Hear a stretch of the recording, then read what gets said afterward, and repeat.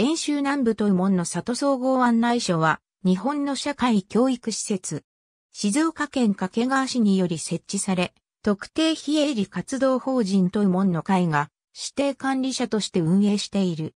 遠州南部と門の里総合案内所の立谷前景静岡県掛川市に立地する社会教育施設である。農業に関する体験学習、食育に関する体験学習、自然観察といった様々なイベントが催されている。また、地元の農産物の即売会も開催されている。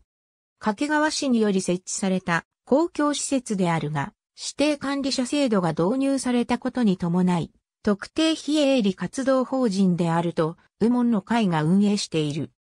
松井三郎市政の下で策定された指定管理者募集要項においては、遠州南部地区は産業の町でも観光の町でもなく、日々の暮らしのそばに田園風景がある田園の町ですと断じるなど、旧オスカ町をはじめとする遠州南部の産業や観光業に否定的見解を示すとともに、あくまで田園の町だと位置づけている。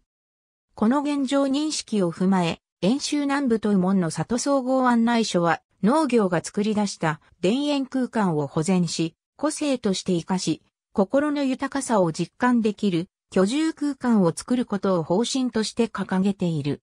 静岡県の小笠郡に属していた旧大須賀町、及び岩田郡に属していた旧浅場町、旧福田町には、山町にまたがる広大な水田地帯が広がっていた。